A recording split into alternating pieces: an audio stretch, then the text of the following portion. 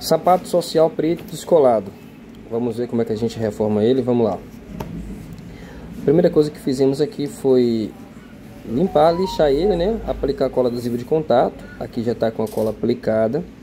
Sapato democrata, como vocês estão vendo. Sapato de couro. Agora vamos fazer a junção das peças, solado e cabedal. Juntar aí com a cola adesiva de contato. Aí usei a cola FCC, tá? Vou juntar, prensar só a partir daí que a gente junta, prensa certinho, a gente vai fazer a cava. Vocês vão ver aí como é que é feita essa cava. Acompanhe.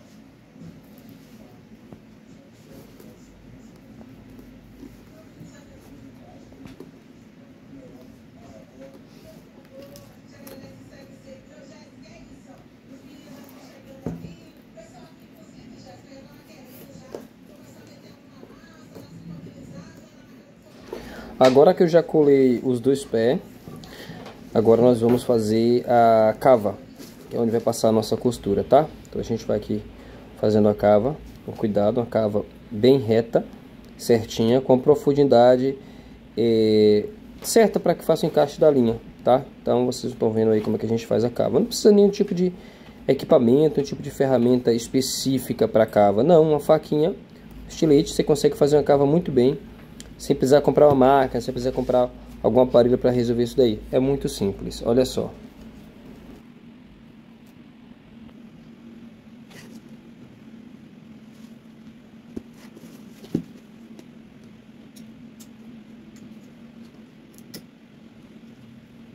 Da mesma forma é o salto. Salto a gente acaba de fazer a cava, seguindo a circunferência do salto, a parte do salto aí do seu lado.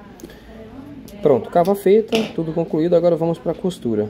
Costurar é aquele processo que você já sabe, que a gente faz sempre aqui no canal. Então agora nós estamos costurando, os pontos têm que ser proporcional ao solado.